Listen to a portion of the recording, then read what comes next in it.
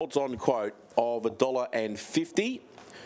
And the green light is turned on and the lure rolls for race two. Ready to run. Set.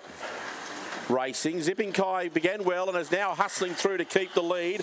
Wide out was lovely. Laney trying to get over. Getting a Pratt there was best of colour and Takumi Bale. Squeeze King of King Eternal and Ruben Road to the back. Zipping Kai's the leader by three. Lovely Laney was second. Up to third. Shadows of Blue closing in. Then came King Eternal who got past Daintree Tiger. Then Takumi Bale. But the favourite is a mile in front and the favourite is home. Zipping Kai's going to win it by about six and a half. Shadows a Blue second. Lovely Laney ran third, just ahead of King Eternal.